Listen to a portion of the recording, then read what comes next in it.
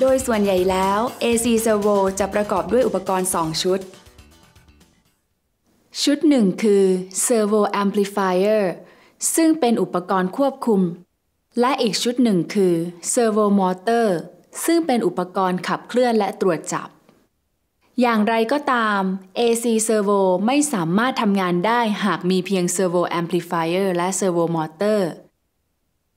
จำเป็นต้องมีชุดควบคุมที่ทำหน้าที่ป้อนคำสั่งด้วย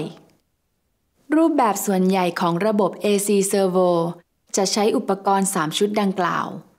แต่ก็ยังมีรูปแบบอื่น ๆ ด้วยเช่นกัน ชุดควบคุมจะส่งคำสั่งไปยัง Servo Amplifier หลังจากที่ได้รับคำสั่งแล้ว Servo Amplifier จะส่งคำสั่งดังกล่าวไปยัง Servo Motor ต่อไป ซึ่งจะทำให้มอเตอร์ทำงานอย่างสอดคล้องกับคำสั่ง Servo Motor ยังมีชุด Encoder ซึ่งทำหน้าที่เป็นชุดตรวจจับ เพื่อตรวจจับตำแหน่งปัจจุบัน และส่งข้อมูลดังกล่าวให้กับ Servo Amplifier ต่อไป Servo Amplifier จะนำค่าของคำสั่งไปเปรียบเทียบกับค่าปัจจุบันตามที่ได้อ่านสัญญาณ encoder และจากนั้น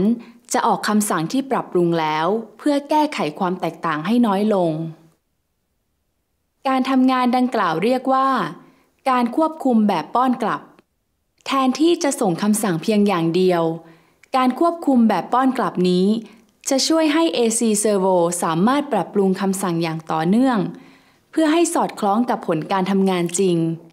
เพื่อที่จะลดความแตกต่าง ทั้งหมดนี้คือหลักการที่ทำให้ AC Servo สามารถทำการควบคุมที่แม่นยำเช่นนั้นได้ ตอนนี้ดิฉันขอแนะนำสั้นๆ เกี่ยวกับประเภทของ servo motor แบบต่างๆ นะคะ เมื่อนึกถึงมอเตอร์ คนส่วนใหญ่อาจนึกถึง Rotary Servo Motor เช่นตัวอย่างเหล่านี้ หลักสูตรนี้จะเน้น Rotary Servo Motor เป็นหลัก ยังมีมอเตอร์ประเภทอื่น ๆ เช่น Linear Servo Motor ซึ่งมีลักษณะเหมือนนำ Rotary Motor มากางลงบนพื้นผิวเรียบ และมอเตอร์ระบบขับตรง ซึ่งดูคล้าย Rotary Servo Motor เมื่อใช้ Servo Motor ควรตรวจสอบให้แน่ใจว่าได้เลือกใช้ Servo Motor ประเภทที่เหมาะกับรูปแบบของระบบของคุณ